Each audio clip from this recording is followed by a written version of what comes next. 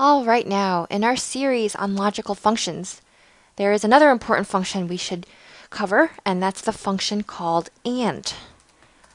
Basically, for AND, this function will return the value true. It will be true if all of the arguments are true. So we're going to go into an example to understand this.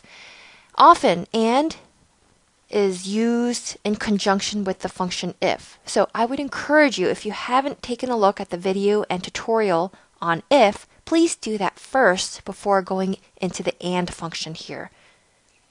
So we're going to take a look at an example. Assuming you're a class parent or a club officer, and you have all the names of the students plus their gender and the shirt size they need to order, we're going to now incorporate the AND and the if functions. So let's assume, let's say in this case, there was a production error and the shirt manufacturing company comes back to you and says, unfortunately, given how popular female median medium shirts are, we no longer are able to produce them.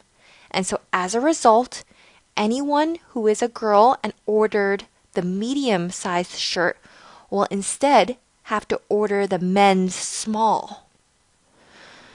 Oh, so what if we have so many students and so many different types of information? Rather than go one by one and making sure that every girl who ordered the size medium has to change to a men's small, we can introduce these two functions to flag all those who are women who ordered the medium sized shirt. So, how do we do that?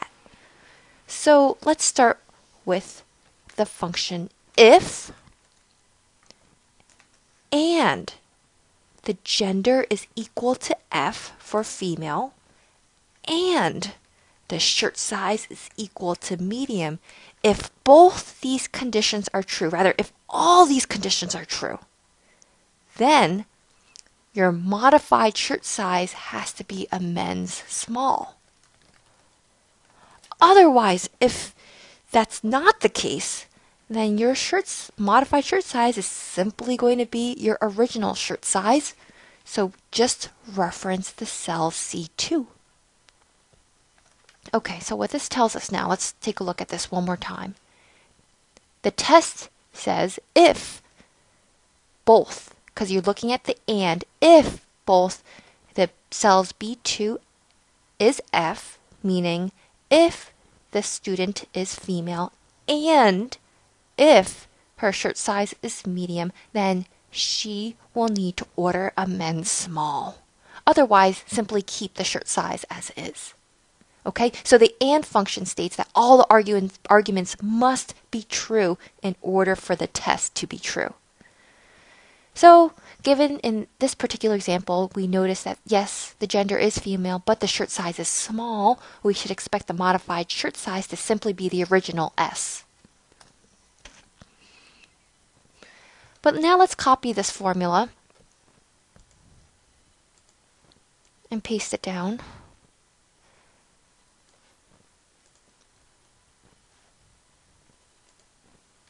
And what you will discover is that for those, again, with a female specified in this category and shirt size M, you will have a modified shirt size that says men's small.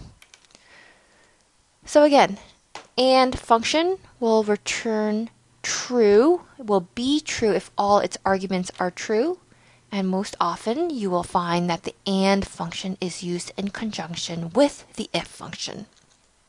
Great. So another related function to AND is the OR function, which we'll cover in our next video. We'll see you there.